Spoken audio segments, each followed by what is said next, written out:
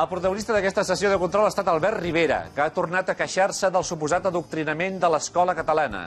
En Cataluña algunos hacen eh, un nuevo colonialismo, ¿no? que es el colonialismo de los países catalans. Ya no es el Estado autonómico, ahora resulta que no lo sabíamos, pero hay un nuevo ente, una especie de placa tectónica cultural, ¿eh? que resulta que incluye el sur de Francia, una parte de Aragón, una parte de Italia, Baleares, Comunidad Valenciana. Esto es lo que se estudia en los libros de texto.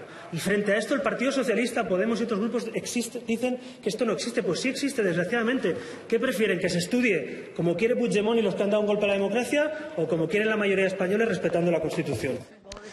A veure, en aquest tema hi ha algunes inexactituds. Primer de tot, la imatge que va mostrar Rivera no és d'un llibre de text escolar, és la enciclopèdia del Club Super 3, que es va publicar l'any 2002.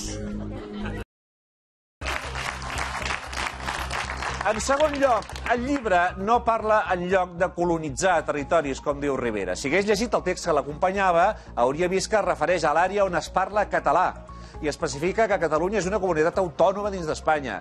Però Rivera, que es passa el dia convencent-nos que els catalans som iguals que els habitants d'Extremadura o d'Astúries, pretén que creguem que no tenim res a veure amb els que viuen a Castelló o a Ciutadella. I total, per què?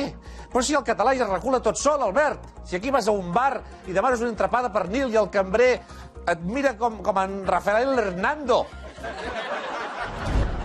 Però què m'estàs contando? La mostra més clara que a l'escola catalana no s'adoctrina i que no es condiciona el pensament polític de ningú és que un dels seus alumnes més brillants és aquest,